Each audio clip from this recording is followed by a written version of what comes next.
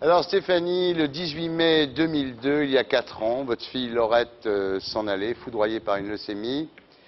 Pour transcender votre douleur et donner un sens à sa mort, vous avez créé une association dont le but est d'œuvrer pour que le don de soi, le don de sang, le don de plaquettes, le don de moelle osseuse devienne un acte beaucoup plus naturel. Vous avez créé une association qui a quatre buts. Informer le public de l'importance du don, faciliter le don, financer la recherche sur les maladies du sang et apporter du soutien et du réconfort aux malades. Où en est votre association aujourd'hui, Stéphanie Vous avez tout dit, Thierry. Euh, quatre ans bientôt, Mmh. après, euh, beaucoup de choses se sont passées. Hum, Le message est enfin passé. hum. Euh, on n'a pas encore gagné. On n'a pas encore gagné puisque un élément essentiel, c'est que les plaquettes ne se conservent pas.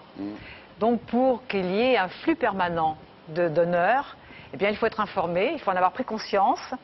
On n'est pas le pays le plus en avance, je dirais même qu'on est un des derniers pays à ne pas savoir, à ne pas comprendre, parce qu'on a toujours une excuse qui est de, euh, je, je l'ai testé là tout à l'heure, il y a deux minutes, c'est long, on n'a pas le temps. Ça dure deux heures, oui. Ça dure deux heures, oui.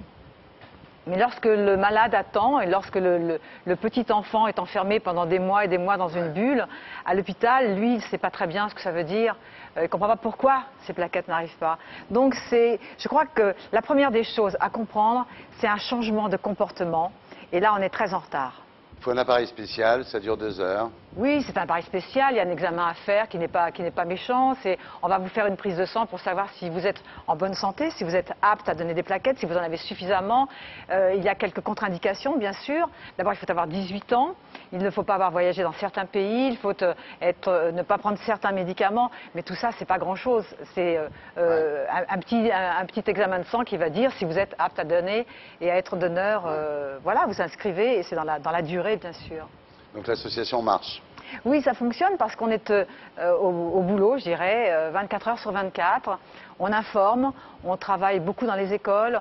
On a réalisé un certain nombre d'opérations qui euh, consistent à toujours dire, redire, rabâcher, à, s- à- à mobiliser les jeunes. On a, un- on a la chance d'avoir un, un- un très grand mouvement de jeunes qui euh, organisent des opérations. On a créé euh, le défi plaquette avec les élèves de l'école de l'ESSEC qui organisent tous les ans un concours, un, grand concours, c'est-à-dire s'inscrire tout au long de l'année pour amener le plus grand nombre de donneurs. Et ça nous permet, dans les régions différentes, d'avoir euh, des centres qui sont quasi autosuffisants.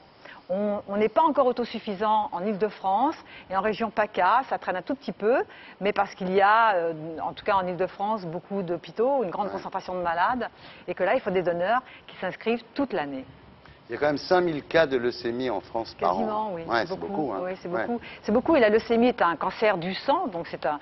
euh, on rentre évidemment dans le plan cancer, sauf que c'est un petit peu différent Ouais. parce que euh, bah, c'est un, cancer qui euh, s'attaque au sang, de la racine des cheveux jusqu'au bas des pieds, donc c'est un petit peu différent. Les, les- les suites sont assez longues, difficiles. Pour le malade, c'est vraiment un parcours du combattant. Euh, on avance, mais on n'est pas encore au bout. Et plus on aura conscience et plus on aura compris qu'il faut développer le don de soi en général, que ce soit, euh, encore une fois, les plaquettes, le sang, la moelle osseuse, mais également les organes. Ça, c'est un travail qu'on est en train de faire maintenant aussi avec le ministère de la Santé et qui avance. Voilà, il faut, il faut maintenant euh, euh, l'inscrire dans l'éducation de nos enfants. Alors depuis 4 ans, vous organisez une journée de mobilisation pour le don de soi. C'est le 21 mai, il y a un rassemblement face à la gare Montparnasse à Paris euh, pour ce que vous appelez la marche des plaquettes. Et il y a un concert gratuit à, à 17h avec Nolwenn, Muriel Robin, Jean-Marie Bigard. Laurent Baffy, etc. Et il faut alors rappeler que cette année, il y a des antennes qui se sont créées en région, euh, celle de Lyon qui existait déjà depuis deux ans, maintenant sur Marseille, également sur Nice, Toulouse, et que toutes ces antennes font la marche en même temps que nous à Paris. Donc il n'y a pas le concert, mais des, des spectacles euh, de, de- de région, des artistes de région. Et c'est important de le savoir parce que ça veut dire que on a enfin fait passer ce message euh, partout et que demain, je, je pense qu'on on gagnera cette bataille. Mais on ne l'a pas encore gagnée Ouais. et il faut que nos mentalités à nous changent. Euh, J'ai presque envie de dire, est-ce qu'ici, sur ce plateau, des gens sont donneurs de plaquettes, par exemple? Non, Voilà. j'ai pas l'impression qu'il y en ait beaucoup. Venez, venez, mademoiselle.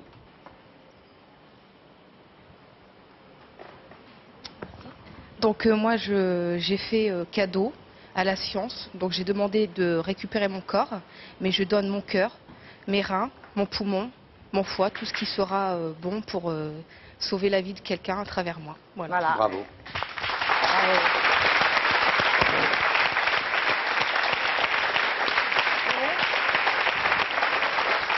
Moi, je peux pas donner mon foie, bon, mais je peux donner d'autres trucs, hein. Bien sûr. Ouais. Mais voilà, il faut, il faut euh, regardez tous ces, tous ces messieurs qui sont ici.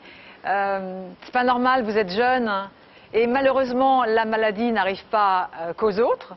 Elle, elle frappe à la porte très vite, du jour au lendemain, quand tout va bien. Euh, C'est un, bouleversement total pour la famille, pour le malade évidemment, pour celui qui est, qui est touché.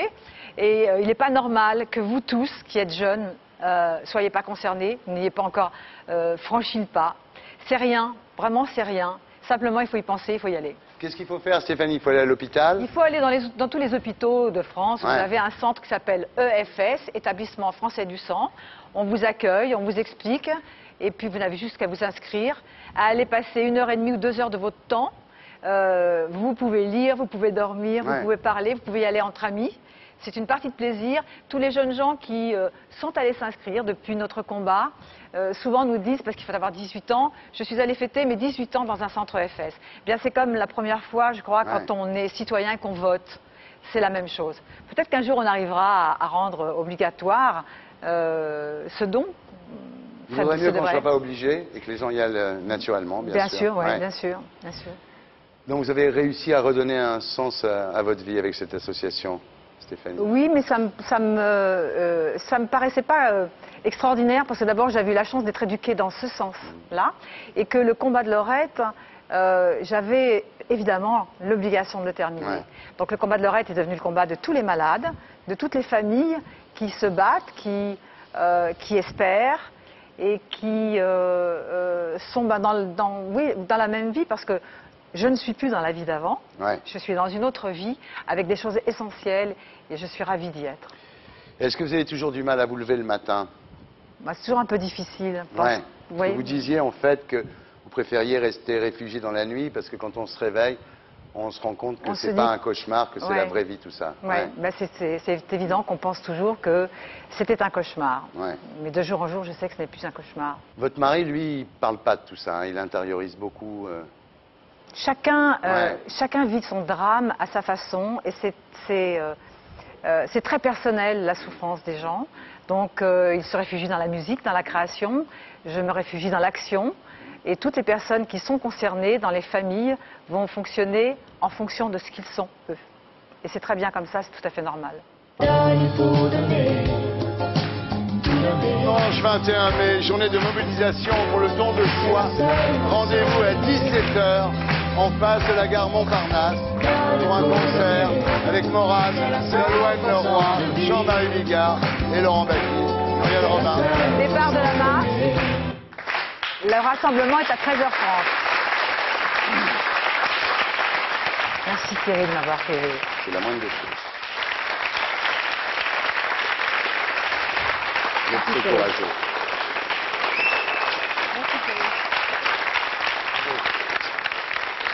ça. Au revoir.